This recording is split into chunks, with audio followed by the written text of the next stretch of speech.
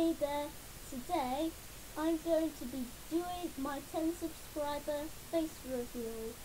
Anyway, thank you all so much for uh, making this happen. Actually, I've got 11 subscribers now.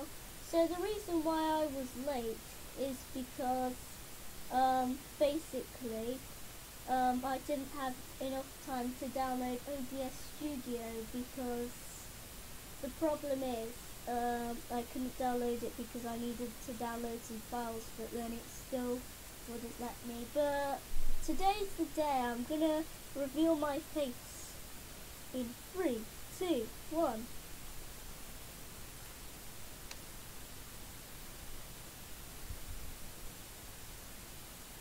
Hi, it's me.